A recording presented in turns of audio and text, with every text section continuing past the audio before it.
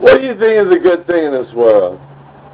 You know, in some cultures that, that, that there are such things that are so good that they got a goods of, them, of their own, a good of their own, a gods of their own. Like in Greek culture, love was such a good thing in their society that they made a goddess in its image. Sweet Aphrodite, wisdom and knowledge, another good thing in this world. They made a goddess of that, of leadership and talent in leading and and and and, and authorizing and organizing and giving and caring and replenishing the need and creating order. The the kingship, they gave a good to that too. Not that variety, not that difference in the good that we follow today in Christianity of milk and honey. Milk and honey, that's a good of what? That's a good of respect. That's a good of honesty with a kind touch. Yeah. The other belief systems, they have goods of their own too that treat it with a different different type of uh, methodology, different method. But they also have their goods to them too. And Ares, he was a good too. Everyone thinks of Ares as this great warrior of loss. You know what Ares really was? He was a teacher of aggression. Have you ever been aggressive towards what you wanted in life? As though fighting for what you want to be? Fighting to get that good job? Fighting to get your meals done? Fighting to cook a good meal? The ingredients aren't coming together right and you're all worried about it. You fight through it and in the end of that little mini battle to make that good meal for your family. Fighting time. You have so long to get it done before it's time to eat. Did you win the fight or did you eat late? But you're aggressive. That's what Ares was about. Aggression. Not wars of loss as they all portray him. In Christianity, Christ is of milk and honey, honesty and sweetness. If I honestly told you what you did was wrong, but then at the same time said that you could make it better, would I not be treating you with milk and honey? Say you did an act that was just given, not of your heart. You went out and you produced it. And honestly, I approached you and I said, hey, why did you do that to that person? Why did you treat those others that way? Do you know you can fix that mistake? Where's the honey in that? The fixing. Where's the honest milk?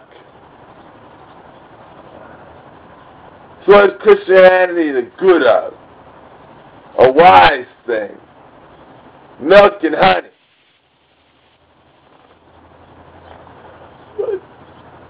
What are other goods goods of? What's your good good of? Is the traffic goods.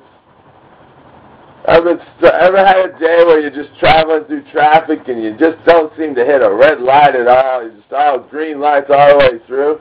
The traffic goods are with you. Those would probably be more like a nymph, but you know what I mean. modern day mythology. I mean, it is still alive today, and I'm still following the ways of Ares, Being aggressive towards what I want in life. Defeating my enemies. If they should make themselves my enemies. Because I do not want to make an enemy of you. The truth is, I want to be friends with you and see you accomplish the greatest of your dreams. Be aggressive towards your dreams. Go after what you seek in life. The choice of your desire. I don't want to see loss of those of your see loss of your dreams or loss of you, just as Ares of old did not. That great good of aggression. But aggression got confused with war. Wars of loss is all he's ever remembered for. But Ares was so much more than wars of loss. It was also wars to achieve, the war of the thinker.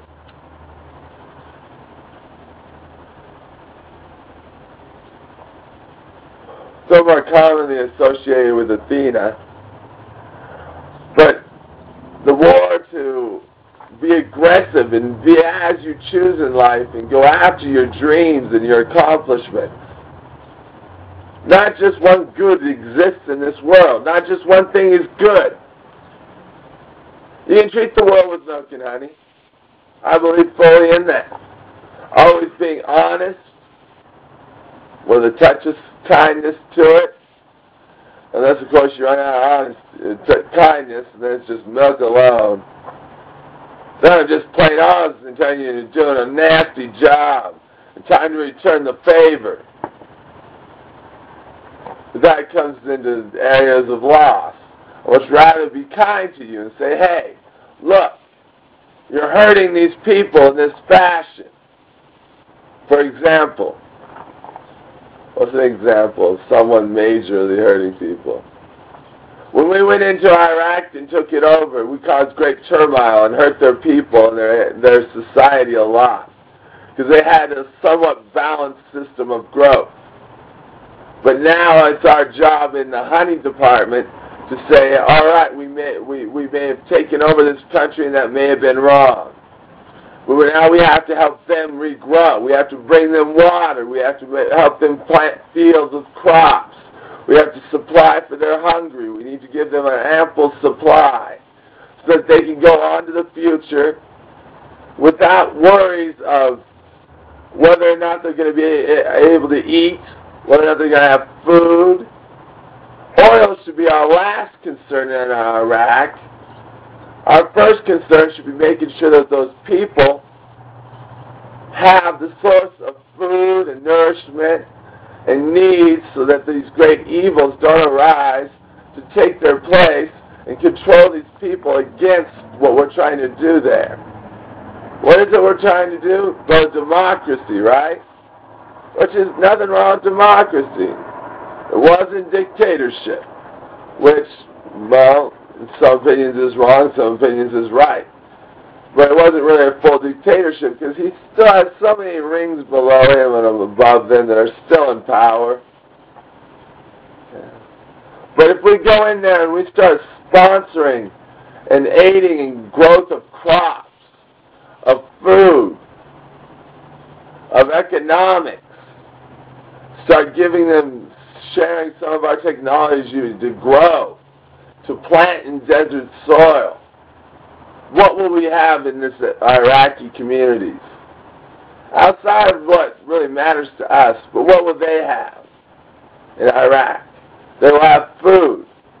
They will have a lifting of the knee. They will no longer have to turn to these terrorist cells. And pretty soon, the land is fruitful. So what would my goal be for Iraq?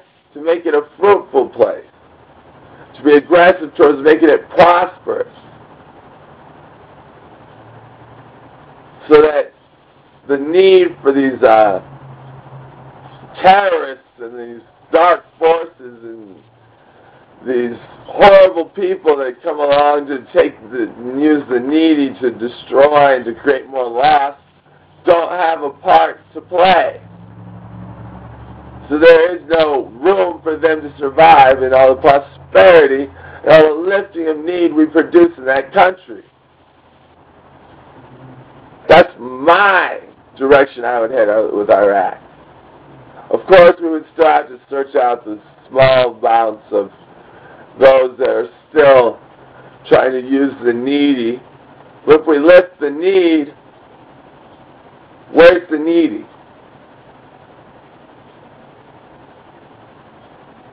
That's like milk and honey. We're being honest with them. We're being honest with them. We're honestly supporting them. And we're giving them a little bit extra. We're lifting them in need. We're giving them some honey, some food, some supplies.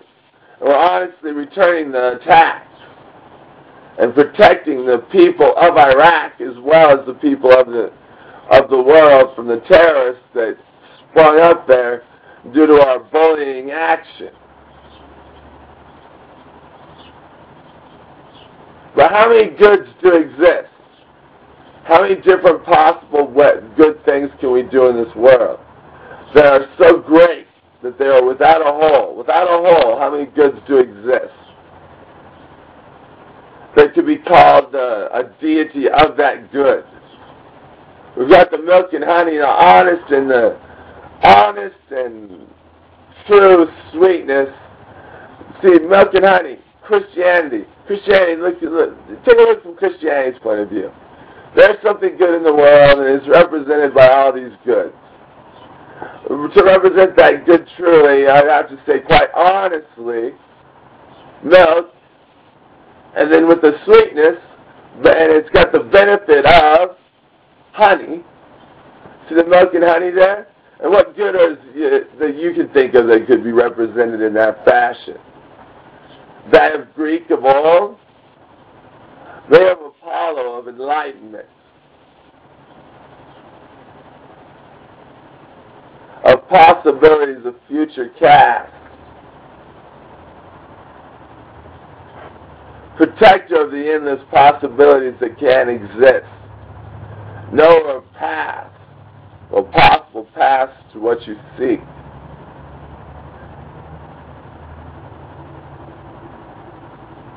But which will you choose? To follow in the belief that there's only one good thing in this world? To follow in the belief that there's as many good things supported by Christianity as they are, as they are truly. That this is good and this is good and this is good and this is why it's good. The honey. A land of milk and honey of the goods, of belief, and of the individuals you meet in your life. He is good in this way, and, well, quite honestly, he's not in this way. Kind of an Ares segment there. And in the one side, Ares was good at teaching aggression, but he was the first, but he also created great wars of loss. But he was the first to rally the Olympic Games. He was the first one to sit in the stands cheering on those athletes because he saw the aggression and the training and the discipline it took for them to get to the point they were at. So is Ares such a bad guy? He can be. If you challenge him to a game of war, war of loss, but if you challenge him to a war of being as best you can be, he can train and teach you of what? Or following in him. To be aggressive towards your what? What you choose to be in life, what you dream to be, not war of loss in a competition, say a foot race. He if you if you are uh, with Ares, you are training hard, you are being disciplined, you are being aggressive in your training. And a day of competition, you are aggressive in that race, and Ares is with you. And should you win that game, that war what has that aggression led you to and taught you? But that wasn't aggression of loss, was it? So how many good things are there in this world other than aggression? Which can be good and can be bad depending upon how it is used. How aggressive, how many different goods are there? There's the goods of the government. Government does some good. I gotta say, it's protective measures that does some good. But it's also got some, quite honestly, problems in the system, some corruption, which we're going to clean out with a celebration of personal choice here at United Unified Belief. And what is the name of those other goods? We got the Christ good, we got the Muslim good, we've got all these different goods. Teaching their goods in their own ways. Teaching their own goods. Got the Hindu goods, the Buddhist goods, Buddhist goods, so many goods. And you know what? A true Christian can see that there's not just one good in existence, but that Christianity is working with these other goods in milk and honey, in love and truth, milk and honey, what they share. Where does Christianity share with those other goods? Where does Muslims share with those other goods? quite honestly, where are they unique in their teaching? But yet they all do exist as individuals. Yet, together they make up what I like to call the united, unified belief. And I thank you for your time, Christopher David Clayton, a member of the united, unified belief. Do you believe? I believe.